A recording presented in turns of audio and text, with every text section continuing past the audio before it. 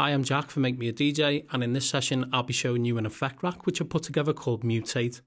Now, this is a great little transitional tool to help you get from A to B, and help you have bigger build-ups in your breakdowns, and it's something that's really simple and easy to use in every one of your tracks.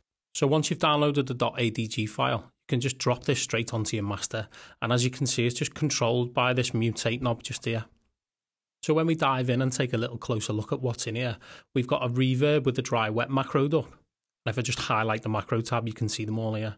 Also got the frequency and resonance from a filter macroed up, the feedback and dry wet from a delay, and also an EQ at the end just to get rid of any nasty low end.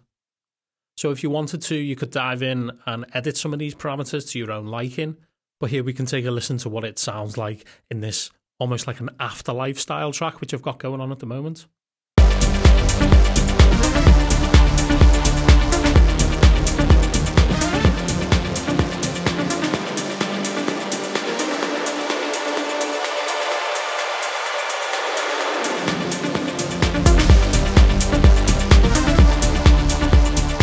All in all, a great little transitional tool which you can incorporate into your own tracks.